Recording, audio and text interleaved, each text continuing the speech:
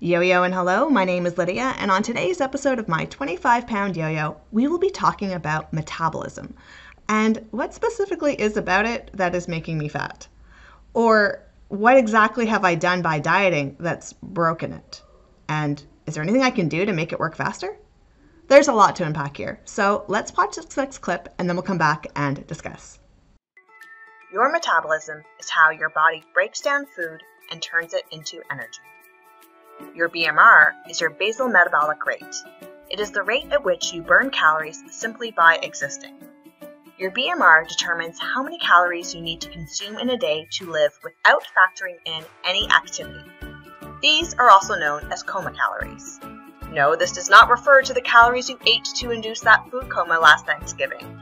It's the number of calories you need to survive if you were lying in bed all day in a coma.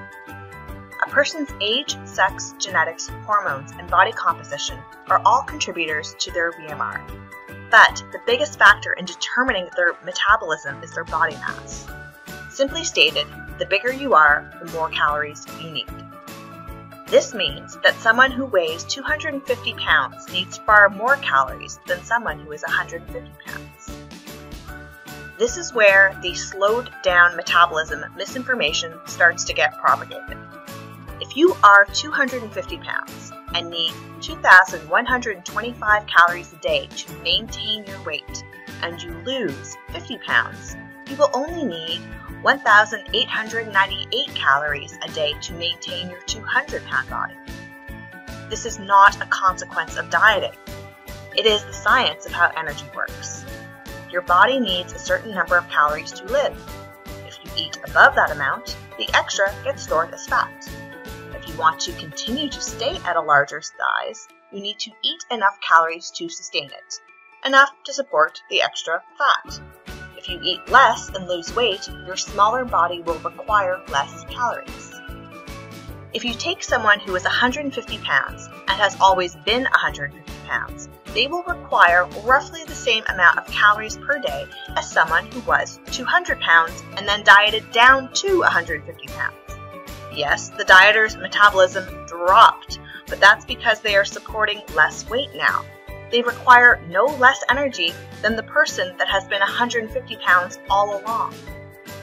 Yes, there are other things that contribute to your metabolism that you can't control, such as your genetics and hormones. But those items make a significantly smaller difference than you think. And most of the time, those other things contribute by making you want to eat more and move less. They don't actually cause weight gain on their own.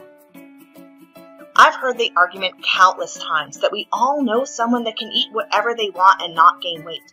So why is it so hard to believe that people exist that are fat that don't eat a lot? Well, that's because it really isn't true. First of all, the so-called people that eat whatever they want, well, that's relative a thin person usually wants to eat a heck of a lot less than a fat person. So, from their perspective, yes, yes, they do eat whatever they want to stay thin. Also, some people overindulge once in a while, but don't eat a lot the rest of the time. Seeing a thin person pack away a 3,000 calorie meal in one sitting may look shocking, but what did they eat the rest of the week? I'd bet they didn't eat that much every day or even every week you can't base what a person eats every day off of a snapshot. For the most part, your metabolism functions to meet your current body's needs. If you are big, you need more energy to stay big, and if you are small, you need less energy to stay small. There are a few hacks you can do though. Number one, eat low calorie dense foods. Foods that are low in calories but high in volume, so that you can feel full on less energy. Number two, do resistance training to increase muscle mass. The more muscle mass you have, the higher your resting metabolic rate is, and the more calories you need just to survive. And number three, get daily cardio activity. Cardio will not only help you burn excess energy, but also increase the rate in which you are burning energy after the exercise is over. No, these are not quick fixes, but they can be helpful. Your metabolism is based off of science, and even though you might not like it, you can't break the rules of thermodynamics. The first thing I'd like to talk about is what exactly your metabolism is. Well, It is how your body breaks down food and turns it into energy. It is scientific, it doesn't discriminate. Food has units of energy known as calories. Some foods have higher calories than others. Your body needs so many calories to survive. The number of calories you need depends a lot on things such as your age, sex, activity level, but the biggest contributor to your caloric needs is your body mass. So, if you weigh more, you need more calories to sustain that weight. And if you are small, thus don't weigh very much, you need fewer calories to sustain that lower weight. The next thing I want to address is how dieting lowers your metabolism. Because um, it, it doesn't. After you lose weight, your metabolism will adjust to meet the needs of your smaller body. If you revert to eating the way that you did before you lost weight, well, you will gain the weight back.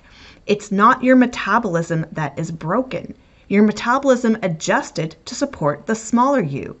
If you gain weight, it will adjust to support bigger you. It, it's just how it works. If you want to be and stay smaller, you need to eat the amount of calories that support that smaller body. Next, I'd like to discuss the other things that can affect one's metabolism. Things like genetics, hormones, medications, environment, and sleep. These things all have a role, but I think that many people don't understand the role that they play. They don't actually magically make people fat. They influence your behaviors that control how much you eat and move. A hormone imbalance does not make you gain weight.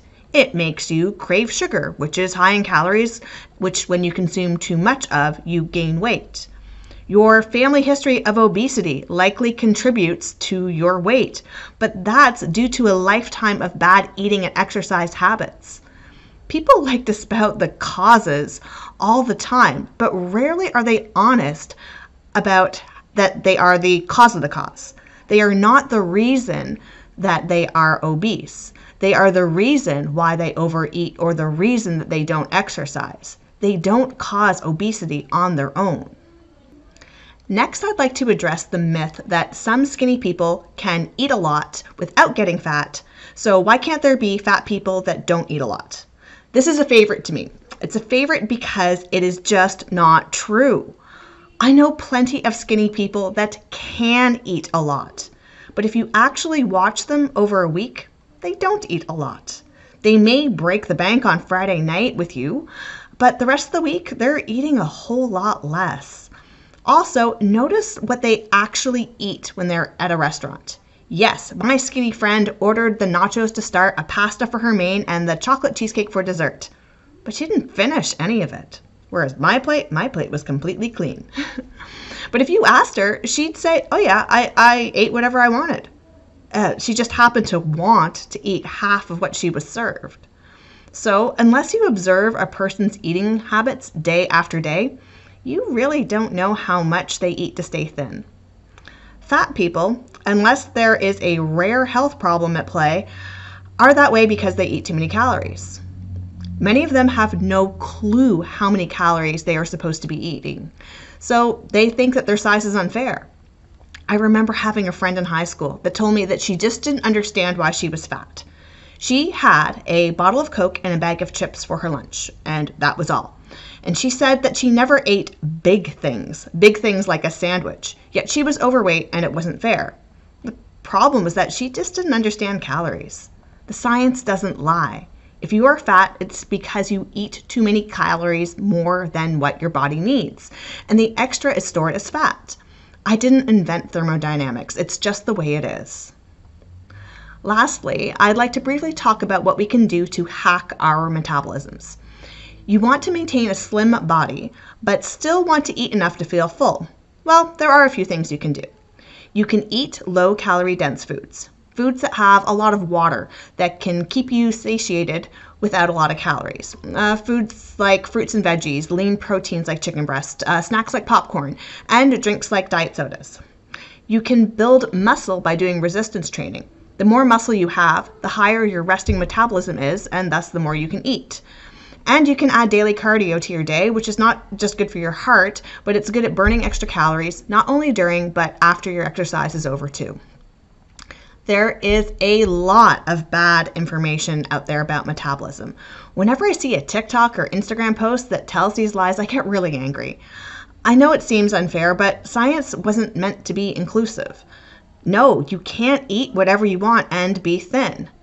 No, you are not fat because of your your hormones are out of balance. If your hormones are a factor, they are a factor of the factor, meaning they're making you eat more, which is what is making you fat. We could spend forever looking for other causes and reasons to our body weights, but if we are ready for the truth, it's really quite simple.